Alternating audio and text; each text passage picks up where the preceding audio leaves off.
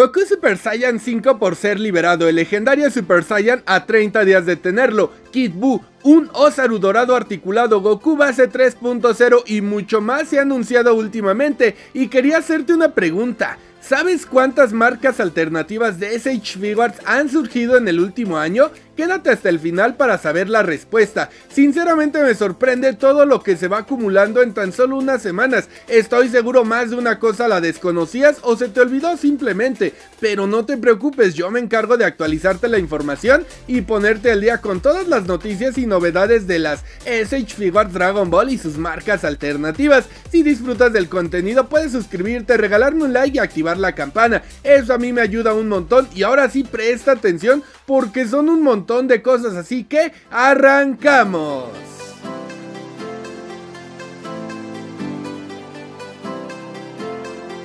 Beast Deities muestra render de su Vegeta 3.0, por lo visto tendrá doble cabellera y bastantes rostros, esa cabeza de conejo es solo para evitar problemas de copyright, como ya se imaginarán, y sí, se trata de Kong Studio pero ahora se llama Beast Deities, aún no hay información de lanzamiento, pero será en 2024 a mediados seguramente. Tamashi Nations ya dio la información oficial de su Goku God 2024, que será lanzado en mayo de dicho año, costando aproximadamente aproximadamente 29 dólares. Lo sé, un superprecio y es tiraje regular. Entonces dice que está próximo a lanzar el kit de manos para Vegeta. Para ser honestos, me parece una buena variante, pero a mí no me entusiasma pagar tanto por un accesorio así. Por su lado, las cabelleras de Majin Vegeta son brutales. En definitiva, al día de hoy no hay ni existe mejor cabellera de esta versión. De verdad es asombrosa, mi favorita es la pálida.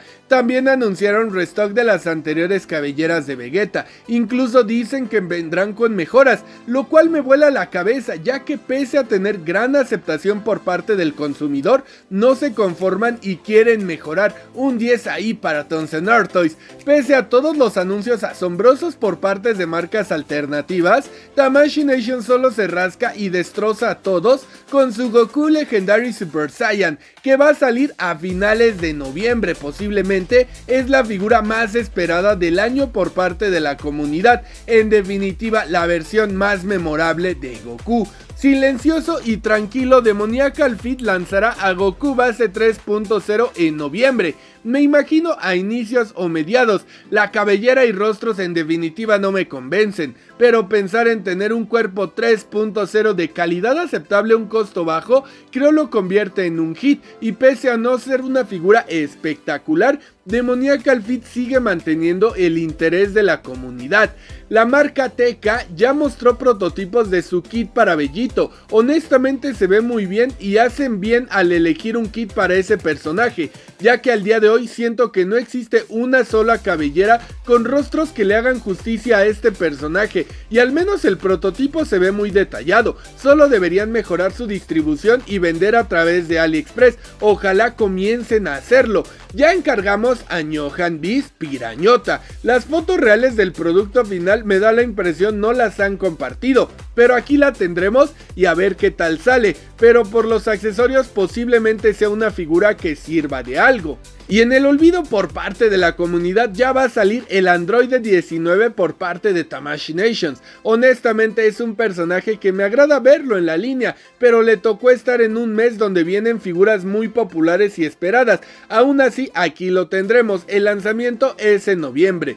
5K Toys menciona que quiere articular este Osaru dorado, lo cual me parece un proyecto muy ambicioso e interesante. Me encantaría tenerlo, solo el costo me da la impresión será muy elevado pero veremos si el proyecto obtiene luz verde para ser iniciado, pero tengan por seguro que yo compraría el mío inmediatamente.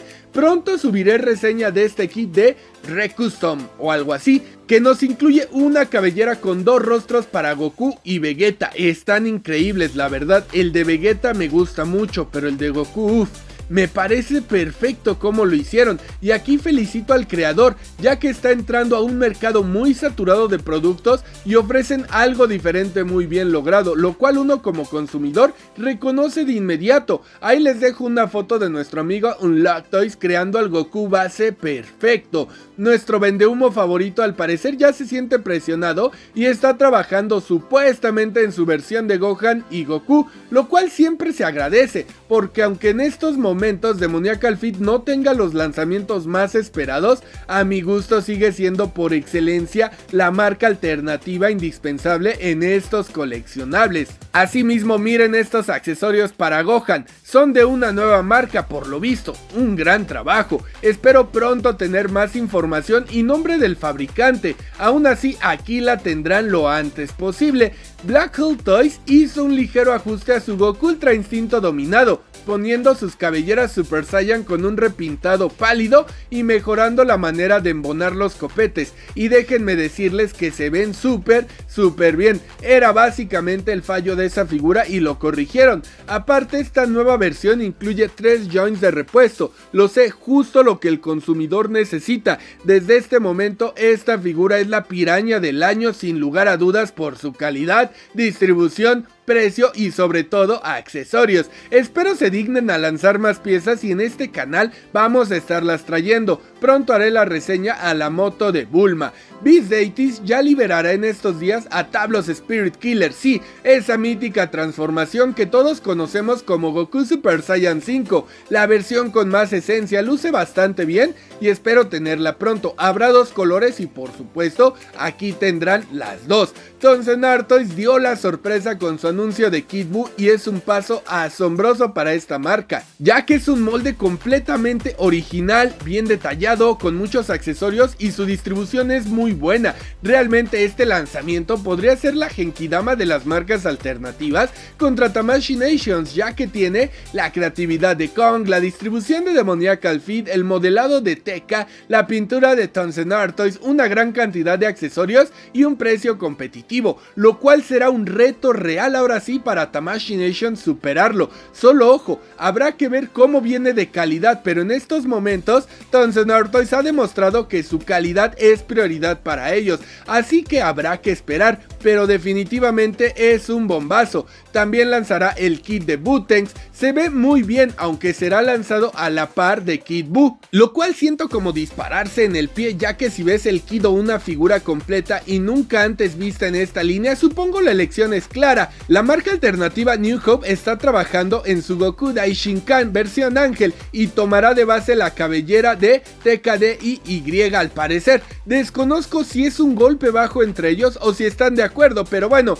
espero pronto sea lanzada la figura. Tamashi Nations mostró a Trunks y Pan de la saga GT. Lo que más me sorprende es ver el cariño que le está poniendo a dichas piezas, ya que se ven muy bien y con molde 3.0. Por supuesto, como fan de esta saga, yo las espero con mucho anhelo. Demoniacal Fit ya envió el kit de Goku Black, que incluye dos cabelleras y algunos accesorios. El costo es de aproximadamente 25 dólares. Definitivamente Demoniacal Fit es de lo mejor cuando se trata de la relación calidad-precio. Goku Super Saiyan Omnigod. Llega esta cabellera en color transparente y blanco. Desafortunadamente, los ojos uno se los va a tener que colocar, pero se ve tremendo el esculpido y definitivamente tiene esencia. El costo es de aproximadamente 20 dólares cada cabellera. Si te gustan los custom, este accesorio es para ti. KW Studio ya debería liberar en estos días su cabellera Super Saiyan 3 de Gotenks, que por cierto estamos en espera de que nos llegue para compartirla con todos ustedes. 5K Toys anunció que irán sacando todas las transformaciones de Psycho, el rival más popular de Dragon Ball AF. Esto me encanta ya que requerimos esos personajes que Tamashi Nations jamás lanzará.